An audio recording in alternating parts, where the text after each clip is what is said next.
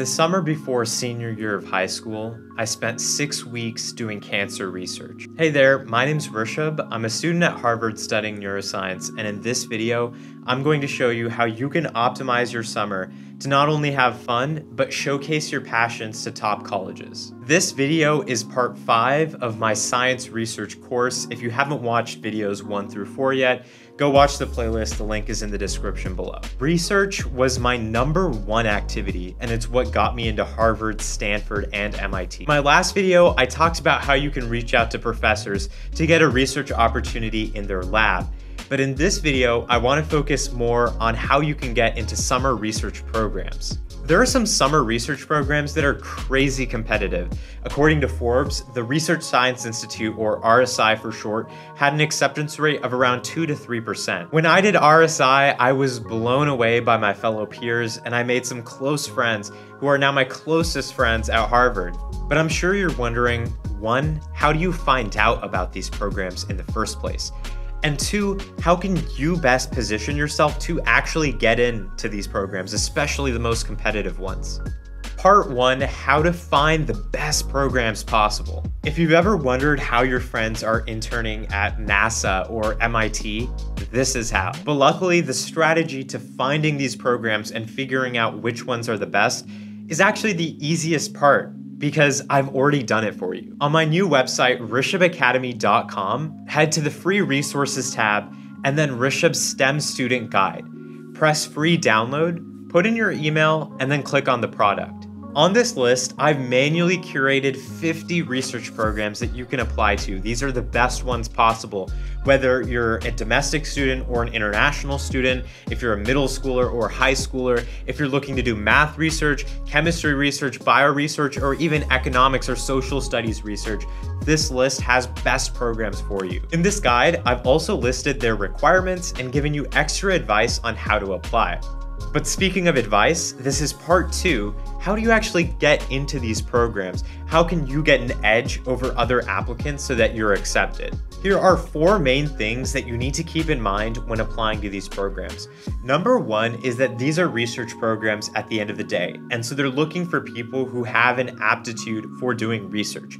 Even if you haven't had past research experiences yet, which are, of course, the best way to showcase your aptitude for doing research, there are other ways to showcase that. Taking college level courses or AP level classes, performing really well on standardized tests, and doing other sorts of STEM passions such as robotics or coding apps in your free time. Two, you want to showcase your dedication and motivation for doing research. Now, this is beyond just awards or to compete at science fairs actually show that you're a dedicated student that goes through research not because it's easy but because it's hard. I want you to talk about, you know, a complex problem you've encountered or some roadblock that you weren't able to solve and show the thrill that you get out of doing science research. Speaking of that thrill, you should really show your passion. That's point number 3. This is easier said than done. However, showcasing your passion on these applications is absolutely crucial, and this looks different for everyone. So I'm not going to give you some formula for showcasing your passion. Just be yourself and be genuine. And point four here is to emphasize your curiosity as a researcher, one of the core things is being able to ask questions and being motivated to answer those questions. And so, showcasing your curiosity for the world around you, whether that's just simple things to, you know, your actual disciplines and fields you're interested in is absolutely essential. Now, you probably already knew most of that, and so at this point I want to get into actual application advice for you. The first piece of advice I have for you is to start early, even if the deadline is a year or two away for you, especially if you're an underclassman. I was fortunate enough to find out about the Research Science Institute, or RSI, back when I was a sophomore in high school. And so I had about a year to actually prepare for that. That meant brainstorming who am I going to ask for recommendation letters, or what are the activities I can participate in to show my aptitude for research. Honestly, for me, the activities that were the most fun and the ones that I enjoyed the most, like you know, doing STEM competitions like Science Bowl to science fairs, as well as just doing research, both independent and in the lab. Those were activities that looked good on the RSI application anyway. So for me, I didn't really have to change anything that I was doing in that regard. But just knowing kind of what you're going to talk about kind of helps you process that in the background throughout. Now, let's talk about writing the application itself. In my opinion, the most important part is kind of your personal statement. And on some summer research program applications, they're going to phrase this in something like, What are your primary goals for this program? Or what do you want to get out of this experience? Or for some others, what are the main research questions you're interested in? Because that is kind of a personal statement that you're giving. Now, I have a big key advice for you here, which is not to list your accomplishments, but rather tell a story around them. And by accomplishments, I mean your goal is to showcase your scientific aptitude and showcase creativity and curiosity, as I mentioned earlier. But how do you actually do that without simply saying, I am curious, you know, I really enjoy solving these problems. Oh, and for this problem, I went on to win the International Science and Engineering Fair don't just list out accomplishments like that. You want to tell a story around it. This year, a ton of people asked me for help with their RSI applications, and the number one thing I noticed was that there was just too much name dropping of awards and just simply kind of listing those things out.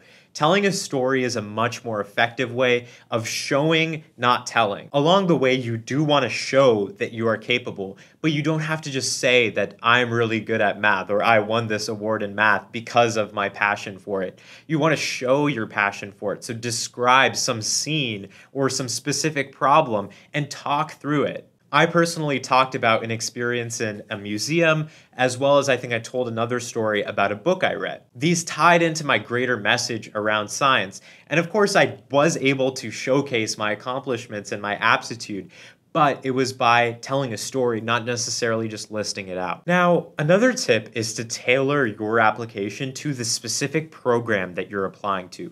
And because every program is different, they're looking for different things.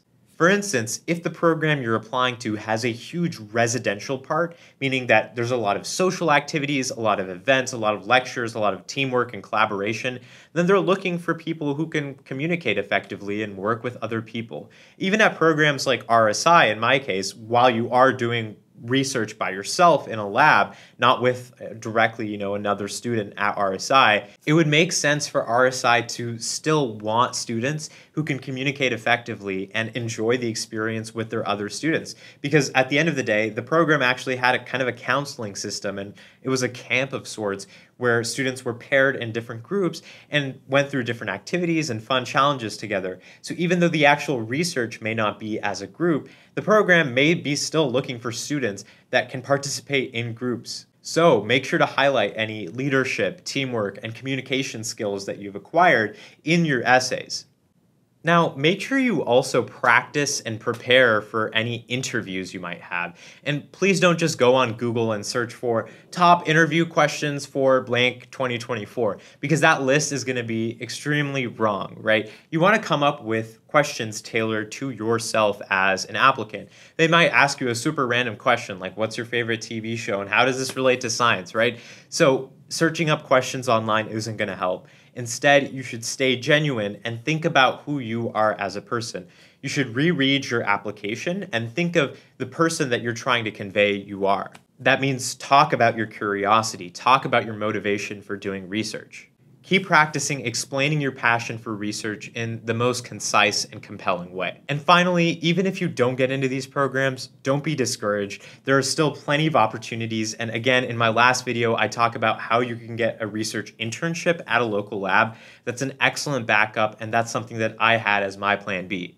With that, be sure you subscribe so you're notified for when the next video in the research playlist drops. And make sure to join the Discord server in the description below to meet like minded students and work on projects together. That being said, I'll see you in the next video.